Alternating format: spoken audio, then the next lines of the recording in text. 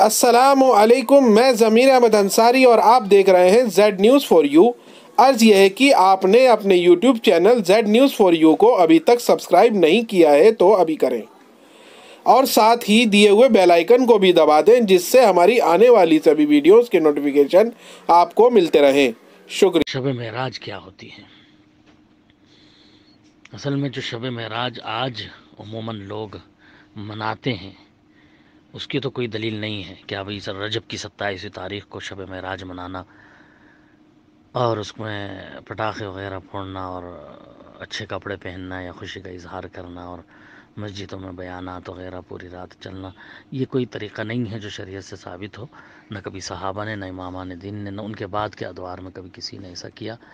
یہ اپنی نئی ایجاد کردہ بدعت ہے جو لوگوں نے شریعت میں داخل کر دی ہے۔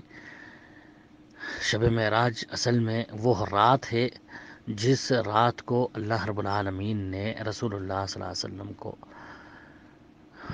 مکے سے، بیت الحرام سے مسجد اقصہ تک کی سیر کرائی تھی، جس کا ذکر اللہ تعالیٰ نے سورہ بنی اسرائیل میں پندرہویں پارے میں سبحان الذي اسرا بعبده ليلا من المسجد الحرام الى المسجد الاقصى الذي باركنا حوله لنريه من آیاتنا، اس آیت میں فرمایا ہے کہ اللہ رب العالمین کی ذات پاک ہے، جس نے اپنے بندے یعنی محمد صلی اللہ علیہ وسلم کو مسجد حرام سے مسجد اقصہ کی سیر کرائی رات و رات، اس کی سیر کرائی۔ اور پھر سورہ نجم میں جو ہے، اللہ رب العالمین نے آسمان کی طرف اللہ کے رسول صلی اللہ علیہ وسلم کو سیر کرانے کی کبھی ذکر کیا کہ آسمانوں پر آپ لے جائے گئے اور اللہ رب العالمین سے ہم کلام ہوئے۔ اللہ تعالیٰ نے جو ہے، آپ کو پانچ پچاس نمازیں آپ پر فرض قرار دیں، آپ کی امت پر۔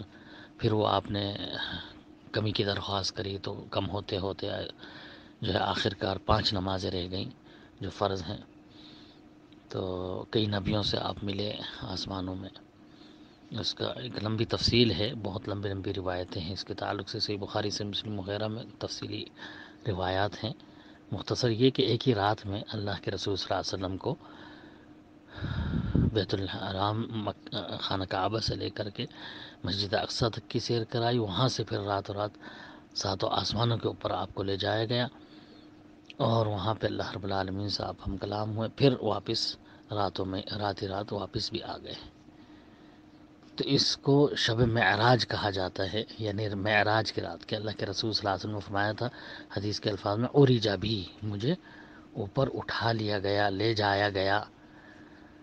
اس سے معراج بنی یعنی اسی سے رات کا نام، معراج کی رات، شب معراج مطلب معراج کی رات نام پڑ گیا لیکن اس کی تاریخ کے بارے میں کوئی وضاحت نہیں۔ جو کہتے ہیں کہ ستائیس رجب کی تاریخ تھی، تو یہ کوئی معتبر روایت نہیں ہے۔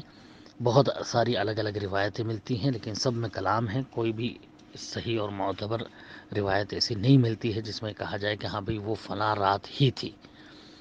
جو معتبر روایتیں ہیں، ان میں یہ ہے کہ بھئی ہجرت سے ایک یا ڈیڑھ سال پہلے آپ کو معراج ہوئی تھی۔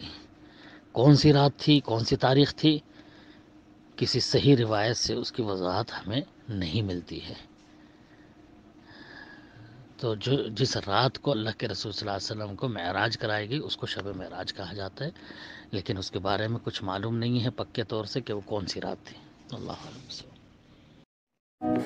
ایک بار پھر آپ سے ریکویسٹ ہے کہ آپ اپنے اس یوٹیوب چینل کو سبسکرائب کریں۔ لائک اینڈ شیئر ضرور کریں۔ شکریہ۔